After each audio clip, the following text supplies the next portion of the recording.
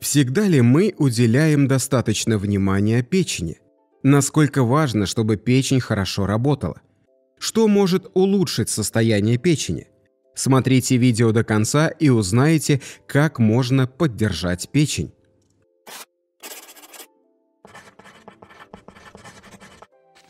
Друзья, наша команда постоянно ищет новые методы и рецепты для вашего здоровья и долголетия.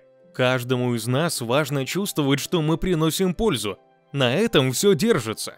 Поэтому просим тех, кто не подписан на канал, но смотрит его, подписаться. Не забудьте нажать на колокольчик и выбрать параметр «Все уведомления». Печень – это самая большая железа организма. Она выполняет множество функций, постоянно воюет с ядами и токсинами, способна регенерировать. Но в некоторых случаях может давать сбой, и тогда необходимо помогать органу восстанавливать функционирующие клетки. Печень очень терпеливый орган, она начинает просить о помощи тогда, когда может быть уже поздно. Поэтому лучше всего не подвергать свою печень токсическим воздействиям. В каких случаях страдает печень? Оказывают токсическое воздействие на печень, приводят к нарушению ее работы ухудшают состояние гепатоцитов, клеток печени, следующие моменты. Инфекционные заболевания, при которых в основном поражается печень, вирусные гепатиты, или может поражаться печень, иерсиноз. Заболевания печени, в результате которых формируется фиброз печени, цирроз различной этиологии, вирусный, токсический, кардиогенный. Применение лекарственных препаратов приводит к поражению клеток печени, некоторые антибиотики, гормоны, анальгетики. Употребление алкоголя приводит к развитию алкогольного поражения печени. Ожирение, при котором в клетках печени откладывается жир, вызывая сначала жировой гепатоз, потом жировой гепатит.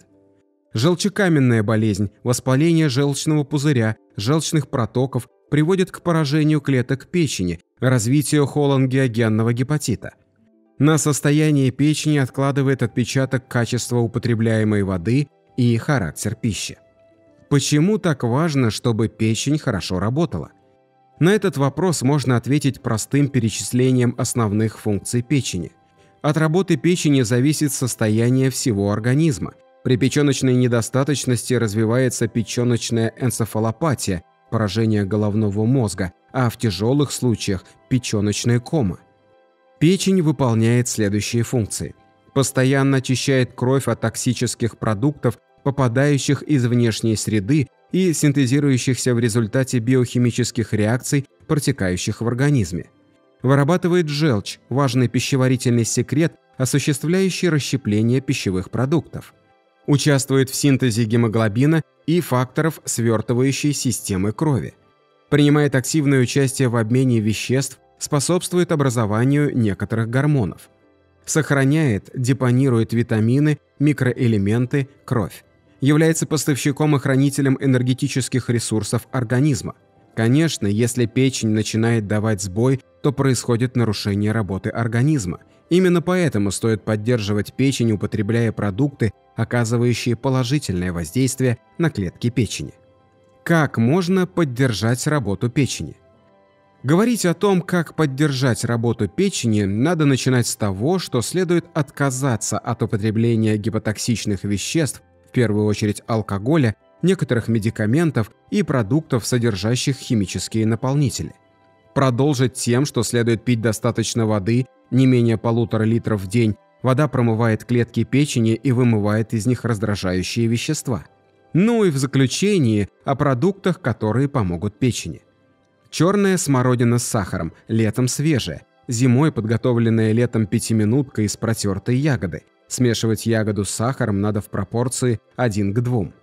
Мед с творогом. На 100 граммов творога 2 столовые ложки меда есть один раз в день. В период сезонного созревания – арбуз. Отвар шиповника с медом. Настой из корня лопуха, который надо приготовить в термосе, залив литром кипятка 5 столовых ложек корня лопуха – Настаивать 5 часов, принимать по 50 мл 3 раза в день перед едой. Настой молодых листьев березы. 150 граммов сырья надо настаивать в 600 мл теплой воды в течение 6 часов. Принимать по 100 мл 2 раза в день. Для печени полезны сладкие компоты, варенье, но особенно мед. Для того, чтобы печень хорошо и без сбоев работала, надо стараться выполнять указанные рекомендации, а главное – отказаться от разрушающих ее веществ. Напишите нам под этим видео, что вы думаете по этому поводу. А чтобы не пропустить новые познавательные ролики про здоровье и долголетие, подписывайтесь на наш канал. При нажатии на колокольчик не забудьте отметить, что хотите получать все уведомления. Здоровья вам и долголетия!